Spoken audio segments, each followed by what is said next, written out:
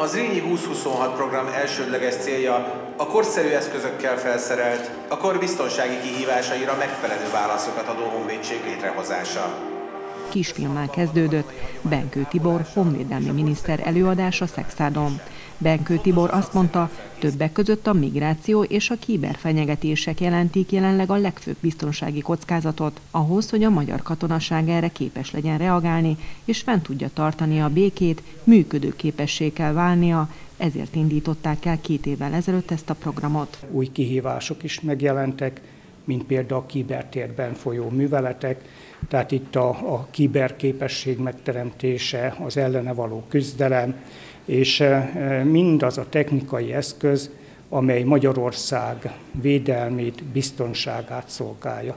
Ebben benne vannak a repülőgépek, ebben benne vannak a légvédelmi rakétarendszerek, a radarrendszerek, a gépjárművek.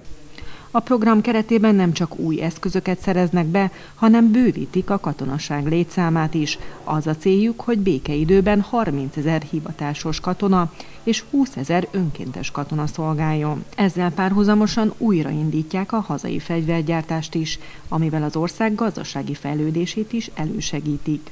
Például a repülőgépeket is megvásároltuk, és a helikoptereket. Az Airbus ennek tükrében telepít tulajdonképpen gyáregységet Magyarországra, ahol majd magyar emberek fognak dolgozni, tehát a foglalkoztatás politikát is elősegítjük ezzel.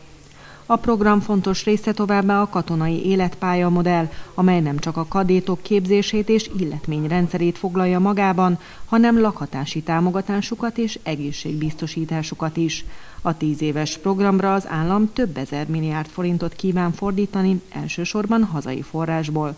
Hogy pontosan mennyit, azt egyelőre nem tudni.